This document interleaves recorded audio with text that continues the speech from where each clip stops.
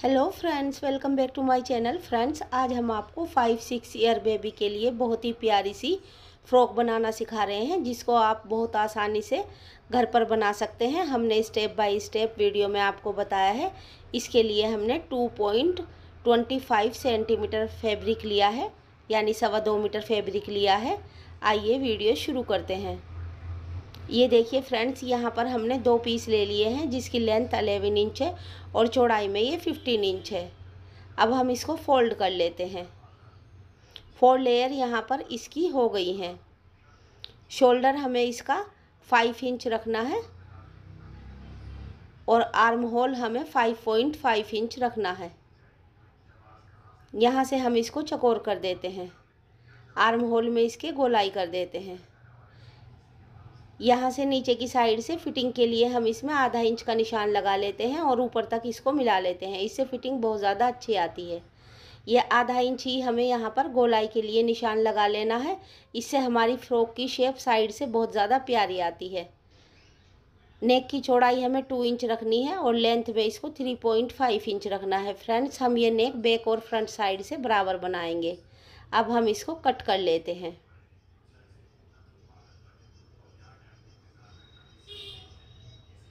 Shoulder पर से भी हमें इसको हल्का सा ढालदार कट कर लेना है, क्योंकि शोल्डर हमारे ढालदार होते हैं। इससे फिटिंग इसकी अच्छी आती है। ये देख सकते हैं, दोनों पीस हमारे कट कर तैयार हो गए हैं। एक पीस हम इसमें से अलग कर लेते हैं और एक पीस को हम डबल करके रख लेते हैं और इसमें फ्रंट आर्म होल की गहराई कर लेते हैं। इससे आर्म होल की शेप बेबी के बहुत ज़्यादा अच्छी आती है।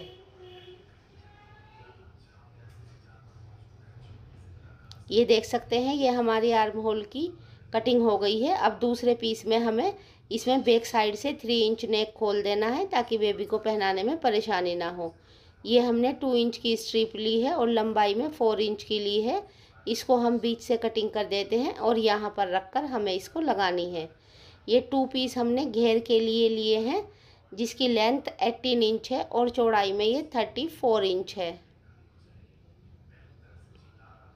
हमें इसके दोनों पीस पर एक साइड में चुन्नटें डालनी है और एक साइड से हमें इसका घेरा फोल्ड कर लेना है। यहाँ पर ये नेक के लिए हमने फ्रिल की फैब्रिक लिया है, जिसकी लेंथ थ्री इंच है और चौड़ाई में थर्टी फोर इंच है। हमें इसको डबल कर लेना है और ऐसे बारीक बारीक सी चुन्नटें इस पूरे फ्रिल में डाल लेनी है। ये हमने डिज़ाइन के लिए एक पीस लिया है, जिसकी लेंथ ट्वेंटी इंच है और चौड़ाई में ये थर्टी फोर इंच है। यहाँ से हम एक साइड से इस पर फोर इंच का निशान लगाते हैं और दूसरी साइड से भी हमें फोर इंच का इस पर निशान लगाना है। अब दोनों निशानों को हम मिला लेते हैं।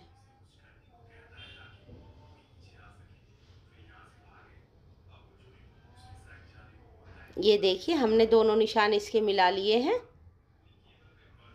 अब हम इसको कटिंग कर लेते हैं। फ्रेंड्स, ये फ़्रॉक बनकर बहुत ज़्यादा प्यारी लगती है। एक बार आप भी अपनी बेबी के लिए इसको ट्राई करें।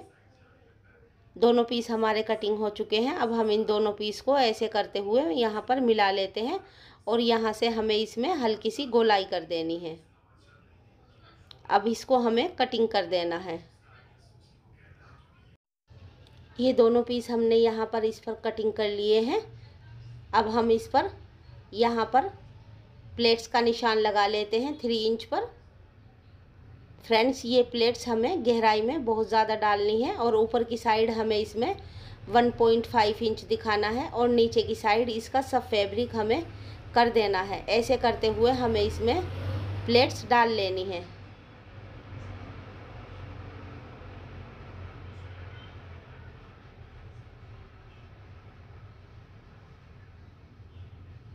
ये देखिए, ये प्लेट्स हमने डालकर दिखाई हैं आपको। हम आपको उस स्टिचिंग करना भी बताएँगे। ये हमने सीधी पाइपिंग ली है दोनों पीसों में लगाने के लिए। 1.5 इंच इसकी चौड़ाई है।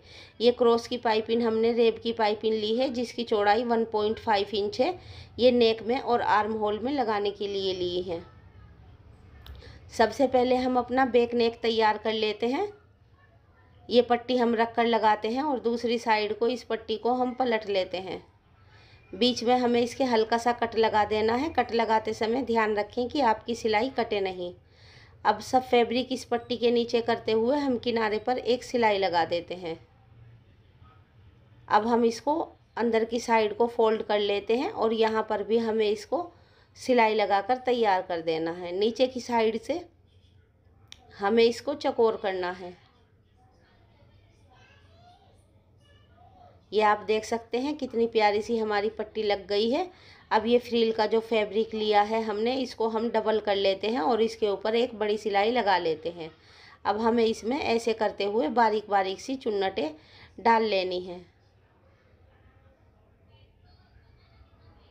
फ्रेंड्स, यहाँ पर चुन्नटें हमें कम या ज़्यादा नहीं डालनी है। बिल्कुल बराबर करते हुए हर प्लेट्स में अंदर की साइड फैब्रिक बराबर लेना है, जिससे हमारी चुन्नटों की शेप बिल्कुल बराबर आए। फ्रेंड्स इसके बारे में कुछ पूछना हो तो आप हमें कमेंट्स करके पूछ सकते हैं।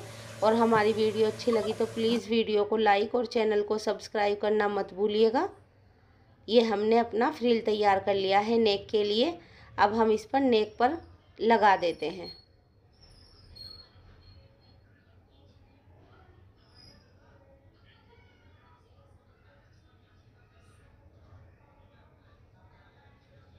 नेक पर इसको सेट करते हुए हमें इस पर और नेक पर दोनों पर एक साथ जोड़कर सिलाई लगानी है। ये हमने इस पर सिलाई लगा दी है। ये थोड़ा सा हमारा एक्स्ट्रा फील बच गया है, इसको हम कट कर देते हैं। अब दोनों शोल्डर हम एक साथ जोड़ लेते हैं और इस पर सिलाई लगा लेते हैं।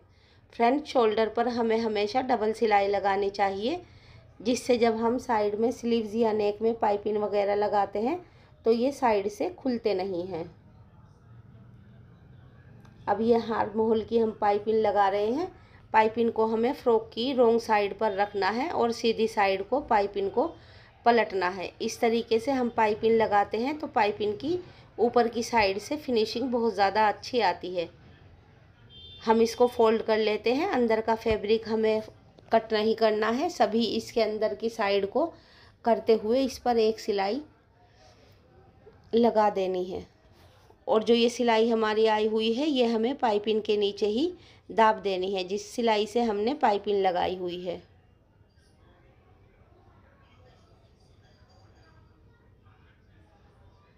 ये देखिए कितनी प्यारी सी हमारी आर्म होल की पाइपिंग लगकर तैयार हो गई है। इसी तरीके से हमें दूसरे आर्म होल में और नेक में पाइपिंग लगानी है। नेक में हम आपको पाइपिंग लगा कर दिखाते हैं।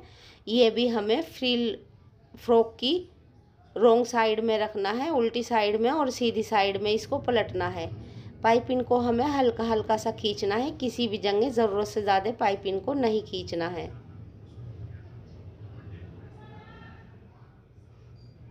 अब हमें इसको इस साइड से भी फोल्ड कर लेना है और इस साइड से भी फोल्ड करना है और एक बार और फोल्ड करना है और उसके बाद इस पाइपिंग पर हमें किनारे पर एक सिलाई लगानी है।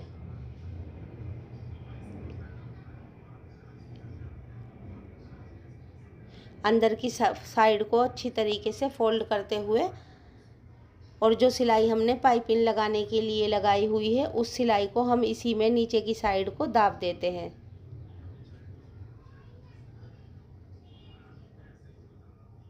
ये देखिए कितना प्यारे से हमारी नेक की पाइपिंग बनकर तैयार हो गई है। ये हमारा डिज़ाइनिंग पीस है, इस पर हम पाइपिंग लगा लेते हैं। फ्रेंड्स, इसके लिए हमने सीधी पाइपिंग कट की हुई है। रेब की पाइपिंग हमें इसमें नहीं लगानी है।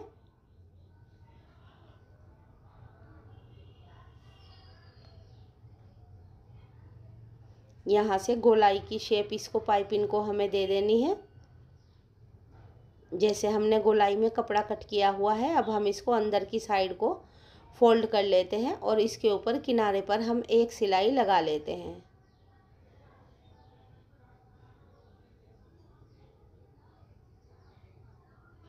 इसकी सिलाई भी हमें अंदर की साइड को दाब देनी है, इस पाइपिंग के नीचे की साइड को ही। आप देख सकते हैं कितनी फिनिशिंग के साथ हमारी ये पाइपिंग तैयार हो रही है। दूसरे पीस पर भी हम ऐसे ही पाइपिंग इस पर लगाकर तैयार कर लेते हैं। अब हम इसमें आपको प्लेट्स डालना बताते हैं। फ्रेंड्स प्लेट्स हमें इसमें काफ़ी गहरी डालनी है। तीन इंच की प्लेट हमें इसमें डालनी है।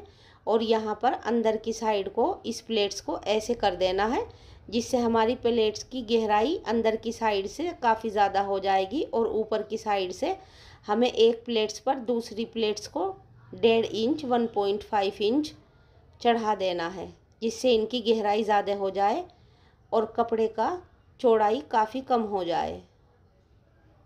हमें इसको योग के आधे हिस्से के लिए तैयार करना है। तो हमें इसको ऊपर की साइड से सेवन इंच के करीब तैयार करना है। अब ये नीचे का हमारा घेरा है। इसमें हम बारीक बारीक सी चुन्नटें डालकर तैयार कर लेते हैं। आप चाहे तो इसमें धागे की चुन्नटें भी डाल सकती हैं।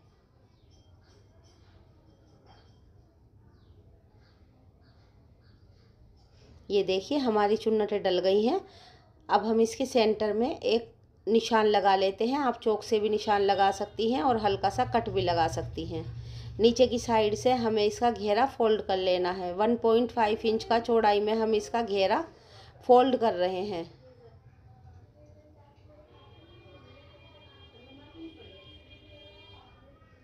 ये देखिए फ्रेंड्स, यहाँ पर प्लेट्स हमने एक दूसरे के ऊपर चढ़ाकर काफ़ी गहरी अंदर की साइड को कर दी है।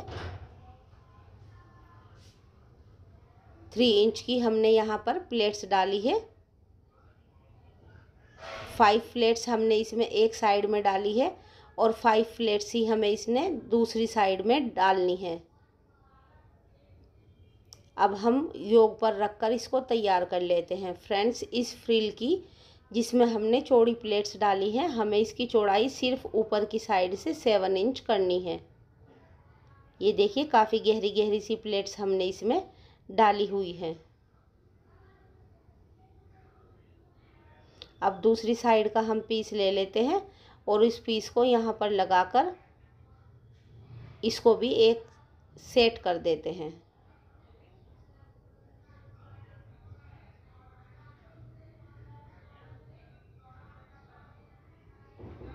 ये देखिए, दोनों पीस हमारे लगकर तैयार हो गए हैं। अब हम इसमें साइड में से दोनों पीस को एक साथ जोड़ लेते हैं, जिससे हमें इसको फ्रॉक में लगाकर साइड की फिटिंग करने में परेशानी ना हो। ऐसे ही हम अपनी दूसरी साइड में भी इसको सेट करके सिलाई लगा लेते हैं। ये देखिए फ्रेंड्स हमने बैक साइड का चुन्नटें डालकर घेरा और योग एक साथ जोड़ लिया है। अब हमने जिसमें डिज़ाइन बनाया है फ्रंट पीस में, उसको हम योग और घेरे को एक साथ सिलाई लगाकर तैयार कर लेते हैं।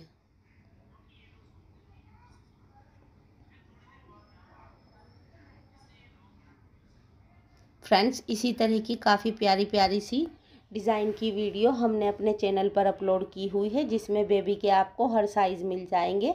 आप चैनल पर से वीडियो देख सकते हैं।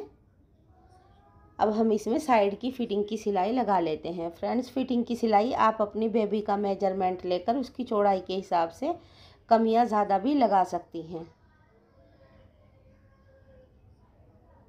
नीचे की साइड से हम इसको पक्का करते हुए निकाल लेते हैं। दूसरी साइड से भी हम फिटिंग की ऐसे ही सिलाई इसमें लगा लेते हैं। ये देख सकते हैं फ्रेंड्स, कितनी प्यारा सी हमारी फ़्रॉक बनकर तैयार हो गई है। फ्रील का नेक भी इसमें काफ़ी खूबसूरत लग रहा है और यहाँ पर हमने बो बनाकर इसमें लगा दी है। आर्म होल की शेप भी इसकी काफ़ी प्यारी आई है और ये देखिए इसकी डिज़ाइनिंग फ्रेंड्स इस तरह की डिज़ाइनिंग बहुत ही ज़्यादा खूबसूरत बेबी के लगती है। आप भी एक बार इसको अपनी बेबी के लिए ट्राई करें। फ्रेंड्स हमारी वीडियो अच्छी लगी तो प्लीज़ लाइक कीजिए शेयर कीजिए और हमारे चैनल को सब्सक्राइब करना मत भूलिए। बेल आइकॉन प्रेस कीजिए ताकि हमारी वीडियो सबसे पहले आप तक पहुँच सके। हम अपनी नेक्स्ट वीडियो में आपके लिए और प्यारे प्यारे से डिज़ाइन लेकर आएँगे। तब तक के लिए बाय बाय फ्रेंड्स